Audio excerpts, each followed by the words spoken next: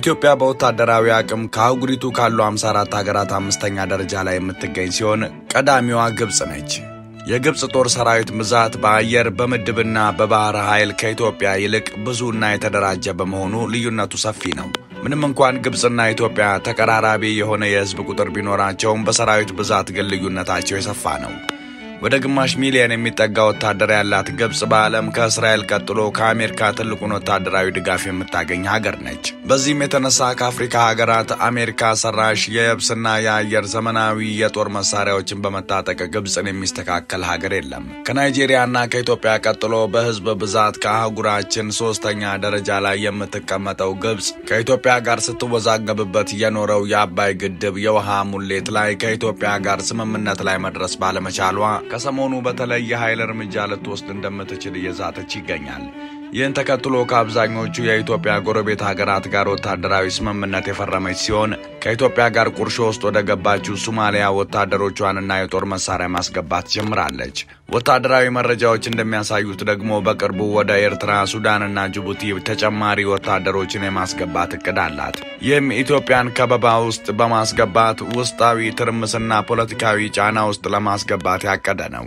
ከደቡብ ሱዳንና ከኬንያ ውጭ ካሉት የኢትዮጵያ ጎረቤት ሀገራት ጋር ወታደራዊ ስምምነት የተዋዋለችው ግብፅ በቅርቡ ከኤርትራ ጋር ባደረገችው ውይይትም ህወሓትን ከፋኖና ከሻዕቢያ ጋር ለማስማማት እየሰራች መሆኑ ታውቋል። በዚህ የተቆጣው የኢትዮጵያ መከላከያ ሰራዊት በሶማሊያ በሚገኙ የሰላም አስከባሪ አባላቱ በኩል በሶማሊያ ውስጥ የሚገኙ የግብፅ ጦር መንቀሳቀሻ ሊሆኑ የሚችሉ አስፈላጊ ቦታዎችን በመቆጣጠር ላይ ሲሆን በኢትዮ ሶማሊያ ድንበር በኩል ትልልቅ ወታደራዊ ማስዣ ጣቢያዎችን እያቋቋመ ይገኛል።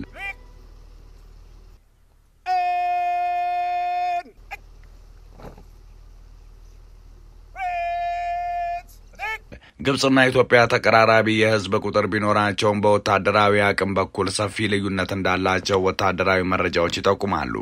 የኢትዮጵያ ጦር ባለፉት አስር ዓመታት በተለያዩ የሀገር ውስጥና የውጭ ጦርነቶች ውስጥ አልፏል። ባለፉት ሶስት አስርተ ዓመታት ውስጥ የኢትዮጵያና የኤርትራ ጦር እንዲሁም ከሁለት ዓመታት በፊት ያበቃው ደም አፋሳሽ ጦርነት ዋነኞቹ ሲሆኑ ከዚህ ባሻገርም የሀገሪቱ ሰራዊት በተለያዩ የሰላም ማስከበር ተልዕኮች ውስጥ ተሳትፏል። በቅርብ የተደረገው የሰሜን ኢትዮጵያ ጦርነት በሰውና በንብረት ላይ ካደረሰው ውድመት ባልተናነሰ በኢትዮጵያ መከላከያ ሰራዊት አቅም ላይ ቀላል የማይባል ጉዳት ማስከተል እንደሚከተሉ ይገመታል። በአንጻሩ የግብፅ ጦር ባለፉት አርባ ዓመታት ጉልህ በሆነ ጦርነት ላይ ሳይሳተፍ በምዕራባውያን ሀገራት ዘመናዊ የጦር መሳሪያዎች ሲደራጅ ቆይቷል። የግብፅ ጦር በጥቂት ሺዎች የሚቆጠሩ ሰራዊቱን ያጣበት ወታደራዊ ዘመቻ ያካሄደ በሲናይ በረሃ ከኢስላሚክ ስቴት አይኤስ ሰርጎ ገቦች ጋር ባደረገው ግጭት ነው። ኢስላሚክ ስቴት በሲናይ በረሃ በግብፅ የጸጥታ አካላት ላይ የከፈተውን ወታደራዊ ዘመቻ ተከትሎ ከፈረንጆቹ 2013 አንስቶ 3200 የሚሆኑ የግብፅ ጦርና የፖሊስ አባላት መገደላቸውን በአንድ ወቅት ፕሬዝዳንት አልሲሲ ተናግረው ነበር። የግብፅ ጦር በሲናይ በረሃ ከነዚህ ቡድኖች ጋር ከሚያደርገው ውጊያ ውጭ ይህ ነው ሊባል በሚችል በቅርብ ጊዜ በሙሉ ወታደራዊ ውጊያ ውስጥ አልተሳተፈም።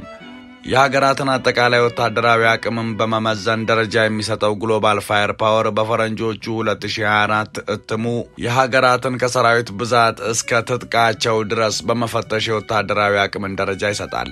የ145 ሀገራትን ወታደራዊ አቅም በመያዝ በየዓመቱ ደረጃ የሚያወጣው ግሎባል ፋየር ፓወር ለምዘናው 60 ያህል የማወዳደሪያ ነጥቦችን ይጠቀማል።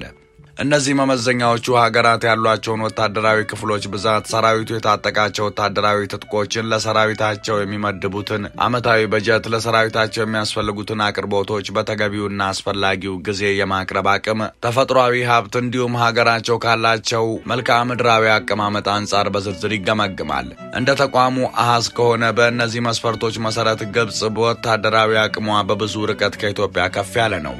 በግሎባል ፋየር ፓወር መመዘኛ ነጥቦች ሲታይ ኢትዮጵያ ከ145 ሀገራት 49ኛ ደረጃ ላይ ስትቀመጥ ግብፅ ደግሞ 15ኛ ደረጃ ላይ ትገኛለች። ኢትዮጵያ 162 ሺህ የሚሆን አጠቃላይ የሰራዊት ብዛት ያላት ሲሆን ግብፅ በአንጻሩ 440 ሺህ ሰራዊት አላት። ከዚህ በተጨማሪ ግብፅ ወደ ግማሽ ሚሊዮን የሚጠጋ ተጠባባቂ ኃይልና 300 ሺህ ፈጥኖ ደራሽ ኃይል ሲኖራት ግሎባል ፋየር ፓወር ኢትዮጵያ ተጠባባቂና ፈጥኖ ደራሽ ኃይል እንደሌላት ያመላክታል። ግብፅ አጠቃላይ 1080 ወታደራዊ አውሮፕላኖች ሲኖሯት ኢትዮጵያ ያሏት 91 ብቻ ናቸው። ከ1080 የግብፅ ወታደራዊ አውሮፕላኖች 238 ተዋጊ ጀቶች ናቸው። ኢትዮጵያ ያላት ተዋጊ ጀቶች ደግሞ 23 ናቸው። የሄሊኮፕተር ቁጥርን ስንመለከት ግብፅ 338 ሲኖራት የኢትዮጵያ አየር ኃይል ያለው የሄሊኮፕተር ብዛት 31 ነው። በዕቃ ጫኝ የጦር አውሮፕላኖች ለስልጠና በሚውሉ እንዲሁም ልዩ ተልዕኮ በሚወጡ አውሮፕላኖች ግብፅ በኢትዮጵያ ላይ የበላይነት አላት። የምድር ኃይልን ስንመለከት ግብፅ ከ5300 በላይ ታንኮች ሲኖሯት የኢትዮጵያ የታንክ ብዛት 680 ነው።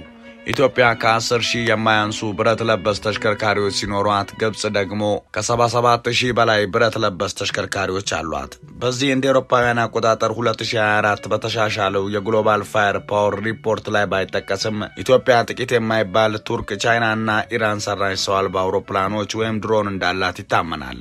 ግብፅ በበኩሏ ሙሉ በሙሉ በሀገር ውስጥ የተመረቱ ወታደራዊ ዘመቻዎችን መፈጸም የሚችሉ ሰው አልባ አውሮፕላኖችን ታጥቃለች።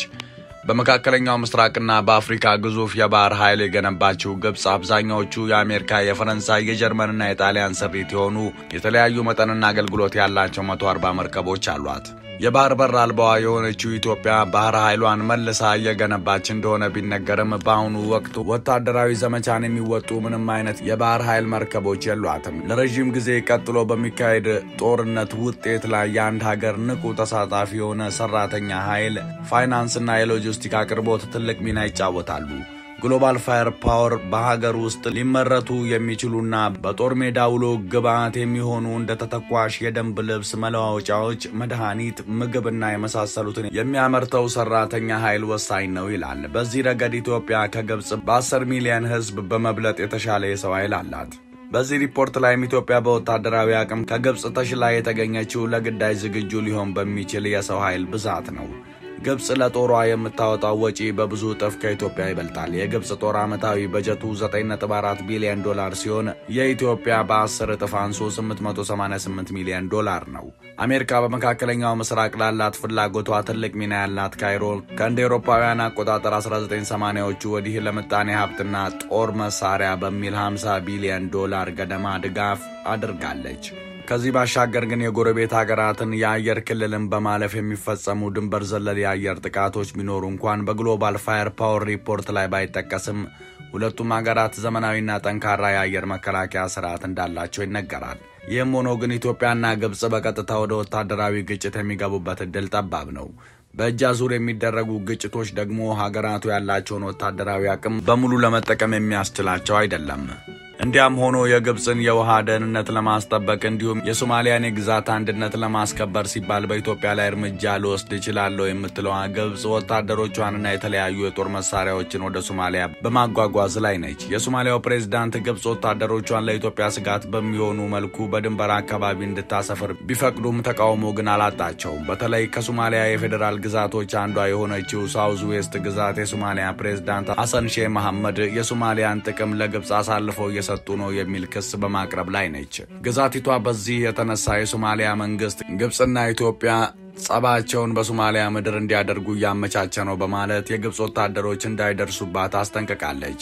ብዙዎች ግብፅ አሁን በሶማሊያ እያደረገች ያለው ወታደራዊ እንቅስቃሴ ለሶማሊያ ብላ እንዳልሆነ በማንሳት እንዲያውም ለሀገሪቱ መበታተን ዋነኛዋ ተጠያቂ ሲያደርጓት ይታያል። ከተስፋፊው የሶማሊያ መሪ ዚያድ ባሬ በኋላ ሶማሊያ ያጋጠማትን የሰላም መደፍረስ ተከትሎ ግብፅ ወደ ሀገሪቱ የውስጥ ጉዳይ እጇን በማስገባት አንድነቷን እንድታጣ አድርጋለች። በግብፅ ድጋፍና ፍላጎት በፈረንጆቹ 1997 በካይሮ የተካሄደው የሶማሊያ የሰላም ኮንፈረንስን ለሶማሊያ መበታተን ትልቅ አስተዋጽኦ እንዳለው ይታመናል። በዚህ ወቅት ግብፅ ከወሰደችው አቋም ዋነኛው ሀዊ የተሰኘው ጎሳ የበላይ የሆነበት መንግስት ተቋቁሞ መሰረቱን ሞቃዲሾ በማድረግ ሀገሪቱን እንዲያስተዳድር ማስቻል ነበር። ይህም የግብፅ ውሳኔ በጎሳ ስብጥር የተገነባውን የሶማሊያን ቀደምት አስተዳደር የዘነጋ በመሆኑ ሀገሪቱ እንድትበታተን በር ከፍቷል። ዛሬም ድረስ ለሶማሊያ መበታተን ኢትዮጵያ ቀዳሚ ተጠያቂ ሆና ብትታይም የታላቋ ሶማሊያ መፍረስ ምክንያቱ ከግብፅ ትከሻ ሊወርድ አይችልም። መሰናዷችንን አበቃን። ቸር ቆዩን።